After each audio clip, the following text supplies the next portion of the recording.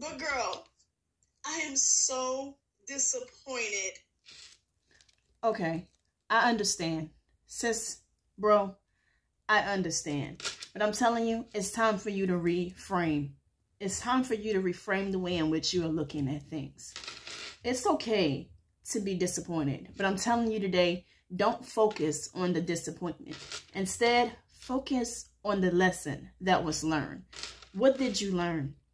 What you learned challenged you out of that position. It challenged you out of that place. It made you change. And what it made you change was your attitude, your perspective, and I bet you'll never repeat it again. You'll never go back to that place again.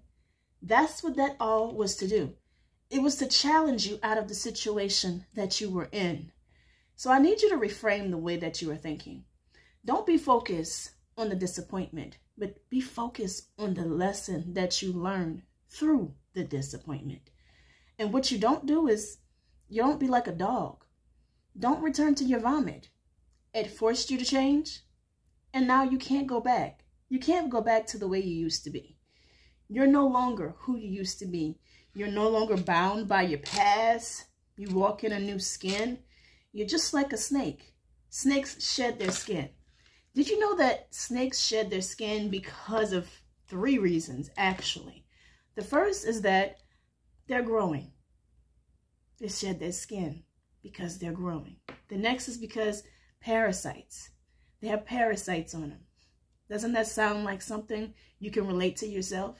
Isn't there things that you had to let go of through this whole situation? So reframe it.